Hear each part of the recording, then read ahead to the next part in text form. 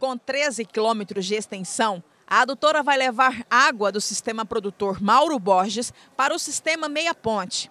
A integração é realizada pela Saniago e a previsão é que os trabalhos sejam concluídos na primeira semana de setembro. Além desse esforço estrutural da Saneago, todo um trabalho de fiscalização que está sendo realizado pela CECIMA vem completando a ampliação da vazão de água do Meia Ponte. Uma obra importante que garantirá a mitigação de problemas relacionados ao abastecimento de água da região metropolitana. 80% dessas obras já estão executadas. A ideia é que, caso diminua a vazão do Meia Ponte, como aconteceu no ano passado, um sistema possa enviar água para o outro. Com isso, a expectativa é que este ano não falte água em Goiânia e região.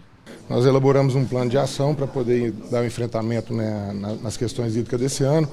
E, uma das medidas emergenciais que nós entendíamos e entendemos que é de maior eficiência e eficácia é justamente a fiscalização. Então, são duas medidas. As medidas emergenciais, que é para 2018, que é resolver o problema eminente, e estamos também com a medida é, preventiva para que resolvamos o, o problema futuro do Estado dessas questões hídricas na região e todo o Estado de Goiás. O período sem chuva é delicado e algumas cidades no interior precisam de ainda mais atenção.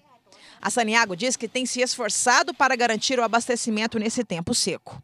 Desde a época das, das chuvas, a gente fez um planejamento muito grande é, de construção de reservatórios em municípios que tinham mais problemas de escassez hídrica, a gente fez um, um, trabalho de perfuração de poços artesianos para municípios também, onde a gente tinha mais problemas de escassez hídrica. Só as ações dessa semana, de captações ilegais, de uso irregular de água, devolveu ao meio ponte chega de 320 litros por segundo. É um valor imenso. Apesar das dificuldades e dos esforços para evitar a crise hídrica, o governo do estado afirma que os números da companhia de saneamento são positivos. Diante dos cortes que foram feitos, feitos, das reduções, os PDV que foi, o PDV que foi feito, as reduções de custos, ela vem gerando caixa próprio.